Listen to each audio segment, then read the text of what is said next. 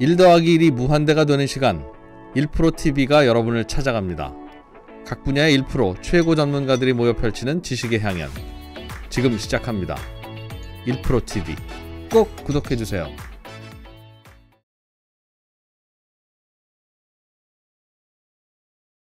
자, 그러면 오늘 어, 뉴스 3 첫 번째 뉴스부터 시작을 하겠습니다.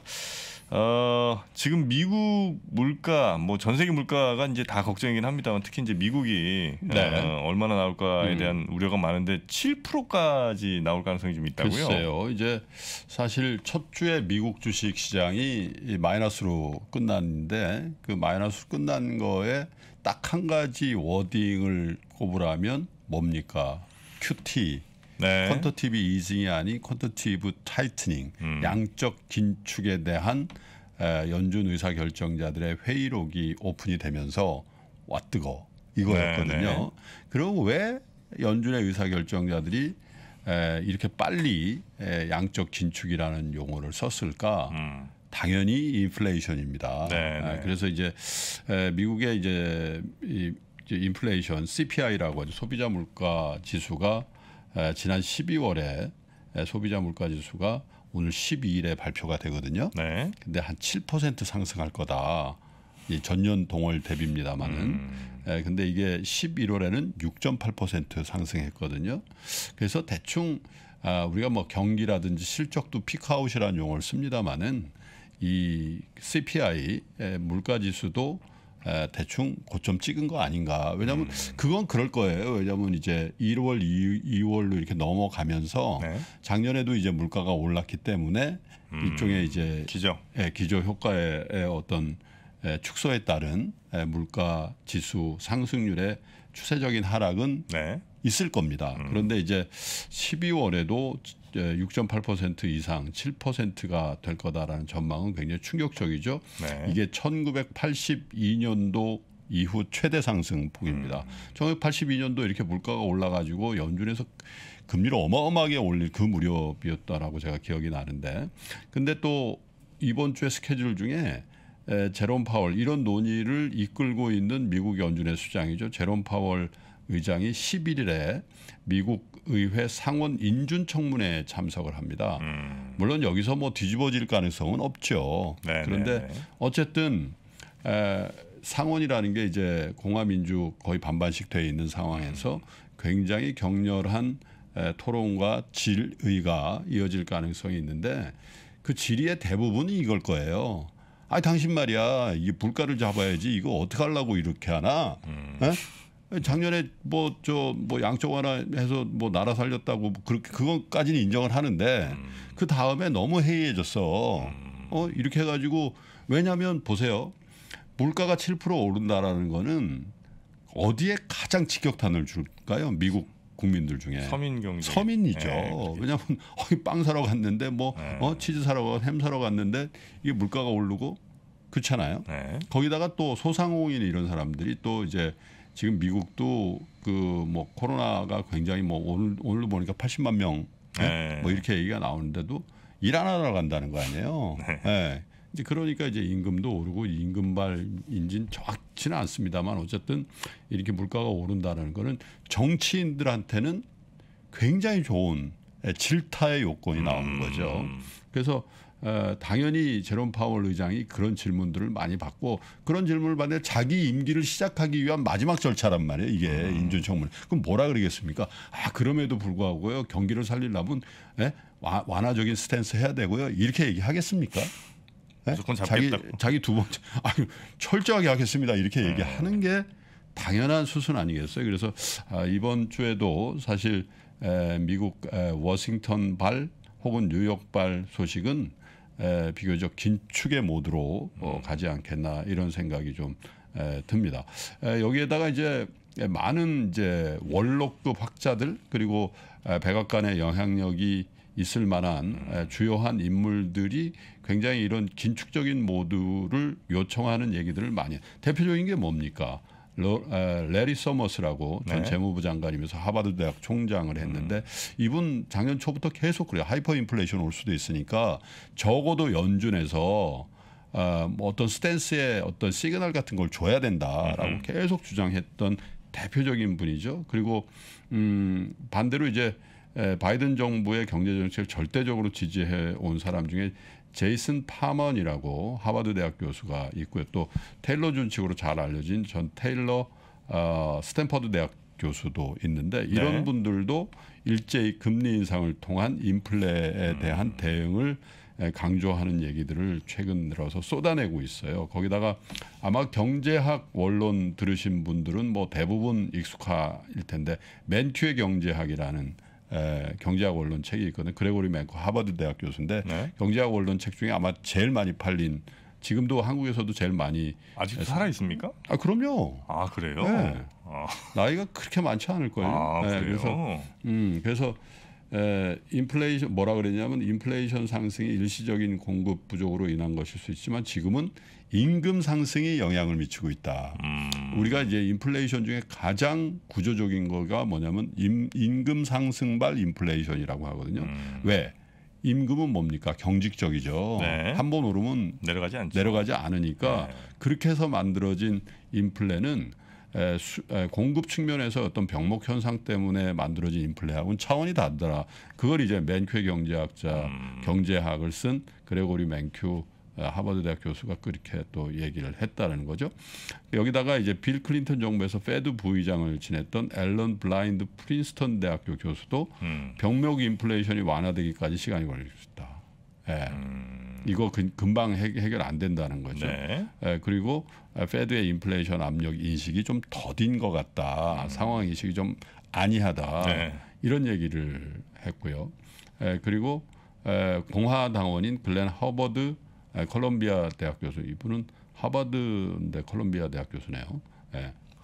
허버드였잖아요. 아, 이름이. 그런가요? 음. 하바드 아니고. 아, 그렇구나. 네. 페드가 운이 좋고 똑똑해야 할 것이다. 이게 이게 미국 사람들이 굉장히 시니컬한데 네, 네. 야 니네 운이 좋아야지 이거 될 걸. 그 얘기는 이제 에, 뭔가 굉장히 큰 시- 심각한 문제가 있다라는 그런 얘기를 한 거죠. 그래서 어쨌든 이런 미국의 굉장히 저명한 그리고 에, 정치권 정, 정치권에도 영향력을 행사할 수 있을 정도의 이런 저명한 경제학자들 교수들이 에, 이구동성으로 뭐 의회 쪽에서는 말할 것도 없고요. 네. 이구동성으로 에, 서민들에게 고통을 주는 에, 이 물가 상승에 대한 얘기들을 굉장히 많이 하고 있기 때문에 에, 미국의 연준 의사결정자 특별히 이제 새로운 에, 두 번째 임기를 시작하기 위해서 마지막 절차를 앞두고 있는 제롬 파월의 입에서 시장에 대, 대단히 우호적인 아, 얘기가 나오는 걸 기대하기는 좀 어렵지 않겠나. 사실은 이런 상황이 아니라면 에, 코로나가 80만 명이 되고 100만 명이 되고 뭐 이런 상황이기 때문에 조금은 에, 경기를 걱정하는 듯한 워딩이 나올 수도 있어요. 근데 네. 지금은 아마 아, 그 순서가 아마도 물가가 가장 우선순위 에, 언급의 주제가 되지 않겠나 그런 생각이 좀 듭니다. 네. 어, 인플레 아주 높은 인플레에 따른 미국 연준의 선택이 아, 많은 사람들의 또 관심 안에 있는 것 같습니다. 자 그러면 아, 뉴스 3 두 번째 뉴스도 전해드리겠습니다. 아, 기관들이 최근에 엄청 하여튼 매물을 쏟아냈는데 네. 그 중에서도 경기 민감주 관련해서는 꽤 매수를 좀 한 모양이군요. 네, 이제 뭐 그 마켓 포인트라는 이제 그 매, 매체에서 우리 기관 투자가들이 지난 12월 29일, 12월 29일이라는 게 그거죠. 배당락 아 바로 네, 다음 날 다음 날부터 네. 7일까지 7거래일 동안 총 얼마를 팔아요? 기관 투자가들이 6조 1,900억 원을 팔았어요. 예. 근데 이제 이 6조 1,900억 중에 대부분이 어디서 팔았냐? 증권회사, 금융투자에서 팔았는데 5조 6,615억 원을 팔았. 근데 이거는 사실은 에, 조금 다르게 봐야 될 게 이런 증권 회사들, 금융투자들이 얼마를 샀냐면 12월 1일부터 28일 사이에 배당을 노리고 사는 거죠. 코스피에서만 5조 3,197억 원을 샀기 때문에 그거 산 거 그대로 시장에 팔고 내놓은 있군요. 거죠. 예. 그러면 왜 이렇게 사고 파는가? 에, 증권회사 일종의 차익 거래 하는 거예요. 네. 왜냐하면 배당 배당을 받고 선물을 매도하는 거죠. 음. 에, 그렇게 해서 에, 그걸 이제 다시 반대 방향으로 이제 rewind 한다라고 하는데 음. 그걸 이제 풀어버리는 그런 건데 대체로 매년 이런 일들이 반복이 됩니다. 그런데 이제 강세장이 시연될 경우에 그게 빨리 네. 매물이 해소가 되면서 그걸 매물을 받아 먹고 이렇게 올라가는 작년 같은 경우가 이제 그런 건데 올해는 이렇게 강세 강세 분위기가 아니다 보니까 이 매물 자체가 굉장히 크게 영향을 주고 있는 그런 상황이죠. 근데 이 매물이 그럼 계속될 거냐? 그건 아니라는 거죠. 13일 날이 우리 1월 파생 만기일이거든요. 네. 요 전후로 해서 완벽하게 금융 투자 음. 쪽에 이런 청산 매물은 대부분 나오지 않겠냐. 이런 게 이제 업계의 관측이에요. 그럼에도 불구하고 지금 연초에 비교적 약세 국면에서 기관 투자가들이 많이 산 종목들을 한번 보고 보자 이거예요. 네. 차트 하나 보여주십시오. 1등이 뭐냐? KODEX 200 선물 인버스 곱버스입니다. 아, 그 기관들이 이렇게 곱버스를 많이 샀어요. 저게 이제 에, 개인 매물들이 나오니까 이제 그걸 받은 것 같아요. 아. 그 저걸 가지고 뭐 약세 배팅했다라고 보기는 좀 어렵다라는 게 이제 얘기고요. 그 다음에 보시면 주로 많이 산 것들 보자고요. SK 이노베이션 뭐죠? 정유 플러스 배터리죠. 음. 그죠? 그 다음에 SNK라고 저거 저거는 이제 개별 재료를 갖고 있는 에, 게임 회사고요. 아, SNK. 알죠? 네. 그 다음에 포스코, 현대 글로비스, 현대 미포조선, 현대 중공업 뭡니까? 글로비스는 에, 저기 칼라일의 10% 지분 넘기는 특별한 재료가 있었죠 음, 지난주에. 근데 저건 제외하더라도 포스코, 미포, 현대중공업, 네. 중우장대 산업이죠, 그죠? 그 다음에 11위부터 모비스 만도, 자동차 부품 제일 큰 회사 두 개죠. 네. 그 다음에 이제 저 밑에 보면 한일 시멘트, 한일 시멘트, GS 건설, 현대제철 이런 주식들이 보이잖아요. 근데 기관들은 뭘 샀냐? 성장주를 산 흔적은 거의 안 보이죠. 저기에 뭐 SD 바이오 센서나 뭐 S- SNK 뭐 이런 정도를 성장주의 반열, 그러니까 바이오나 게임주로 할 수 있지만 저건 개별 재료라고 봐야 되고 대체로 중우장대 전통 산업 이런 쪽에 이제 베팅을 한 거죠. 네. 예, 조선주도 꽤 예, 많이 올랐죠. 물론 금요일 날 조정을 좀 받았습니다만은 예, 포스코는 뭐 재료가 있었죠. 뭐 아시듯이 자사주 소각을 한다라는 재료가 있어서 더 그렇습니다. 어쨌든 예, 자동차 부품 또 철강, 조선, 예, 화학, 건설, 그죠? 시멘트 네. 이런 류의 성장성은 조금 떨어지지만 에, 비교적 경기에 민감한 주식들 이런 주식들에 대해서 에, 우리 기관 투자가들이 올해 첫 주에 에, 비교적 많이 샀다. 저 얘기는 장세 기관들이 생각하는 장세의 성격을 살짝 컨닝할 수 있는 거 아닌가? 뭐냐? 아, 뭐 미국의 이제 금리가 올라가니까 미국의 빅테크 같은 에, 성장주가 일단 타격을 받고 한국에서도 마찬가지죠. 네이버, 카카오 이런 것 네네. 타격을 받잖아요. 카카오 특히 카카오 계열사들 굉장히 많이 빠졌죠. 아니, 그런 측면에서 아 그러면 주가 측면에서 반사 이익을 누릴 수 있는데 어디냐? 비교적 valuation 부담이 좀 덜하면서 특별히 올해 아 이런 상황에서 뭐가 좋을까? 예를 들면 건설이라는 거죠. 네네. 예, 건설 들어가니까 시멘트 나오고 또 건자재 그런 거 나왔죠. 기관들은 이렇게 판단했다 이거죠. 예, 그렇게 이제 보는 시각들이 굉장히 많, 많은 것 같아요. 그래서 에, 일단 에, 올해 첫 주를 지난 상황에서 음. 우리 장세의 어떤 기관들이 생각하는 방향성은 경기 민감주에 에, 일단 베팅을 한다. 그리고 경기 민감주에 한다는 건 valuation 부담이 좀 덜한 음. 업종 중심으로 에, 들어온다. 이렇게 에, 정리를 할 수 있을 것 같아요. 물론 이제 이게 추세적으로 계속 될는지는 지켜봐야 되겠습니다만 제가 첫 번째 뉴스에서 말씀드린 미국의 긴축 모드가 계속되는 한 네. 아, 이런 류의 장세 성격이 쉽사리 갑자기 성장주 쪽으로 넘어간다든지 이러기는 조금 어려울 수도 있겠다. 적어도 1월 장세에서는 에, 그렇게 보는 시각들이 기관들 간에 그 조금 광범위하게 퍼져 있는 것 같다 이런 생각이 좀 듭니다. 네. 자 그리고 뉴스3 세 번째 뉴스도 전해드리겠습니다. 아, 우리 한국거래소가 그 코넥스 시장이라고 이제 정말 미래 꿈나무들 모여 있는 이 코넥스 시장 활성화를 위해서 어, 천억 규모의 펀드를 또 조성하는군요. 작아요 천억이면. 네. 예, 우리가 이제 거래소가 있고요.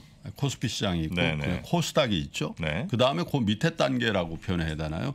코스닥에 가기 이, 이전 단계에서 음. 거래를 할 수 있게 만들어 놓은 코넥스 시장이라는 게 있고 그 밑에 단계에서 비상장 거래하는 K-OTC라는 음. 게 있고 이렇게 나눠져 있는데 코넥스 시장에 들어가면 거의 이게 무슨 시장이냐 이런 생각이 들 정도로 거래가 없어요. 아 그래요? 네, 원래는 이제 코넥스에 들렸다가 코스닥을 가라 뭐 이전 이런- 상장이라고 하거든요. 음.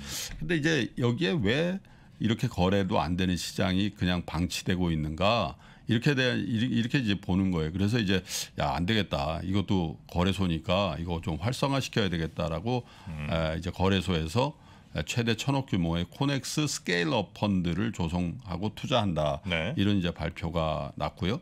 에, 이렇게 하면 기관 투자가들이 좀 들어와 주지 않겠냐 이런 건데 지금 현재도 코넥스 투자를 하려면 제약 조건이 있어요. 뭐냐면 코넥스에는 비교적 조금 위험한 시장이라고 보는 거죠. 코스피보다 코스닥이 그렇고 코스닥보다 코넥스가 그래서 기본 예탁금이 3천만 원 이상 있는 분들만 투자하게 돼 있거든요. 아 그리고 1인 1계좌 규제가 있어요. 네. 그러니까 근데 이런 것들이 이제 폐지한다고 밝힌 겁니다. 그래서 에, 코넥스 시장에 대한 접근성을 좀 높인다 이런 거고 그리고 또 한 가지가 이제 에, 코넥스에서 일정 거래가 되거나 이러면 자연스럽게 코스닥에 갈 수 있게 해줘야 되는데 네. 에, 굉장히 그 허들이 있다는 거죠.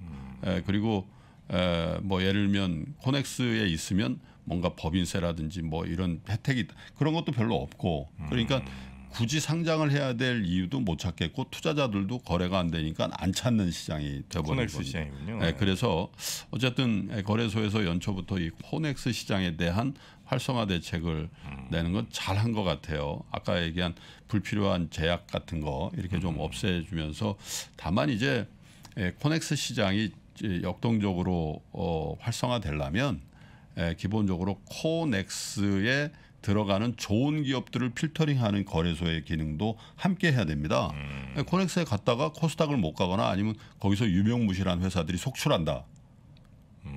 그러면 음, 못하겠죠. 활- 활성화한 이후에 이제 그 시장이 혼탁해지고 그럴 수가 있잖아요. 그래서 예, 코넥스 시장에도 좋은 회사들이 들어갈 수 있도록 비교적 규모는 작고 에, 아직은 재무제표가 이렇게 완벽하진 않으나 네. 에, 그런 성장 가능성이 있는 회사들이 코넥스 시장으로 잘 몰릴 수 있도록 그게 이제 벤처업계하고 관련이 있거든요. 그쪽하고도 잘 에, 협조를 해서 좋은 기업이 에, 코넥스에서도 코넥스에서도 투자해서 수익이 잘 날 수 있도록 하면은 음. 에, 코스닥에 가기 어려운 회사들이 코넥스로 가겠죠. 그래서 어쨌든 이런 에, 개선안을 낸 거는 환영하는 만한 일인데 코넥스 시장에도 좋은 기업이 갈 수 있도록 하는 장치도 함께 조성을 좀 해줬으면 좋겠습니다. 네. 여튼 펀드 규모 천억 정도는 조금 이제 작 작은 편이다. 예, 라고 조금 이제 더 해야죠. 네, 알겠습니다. 네.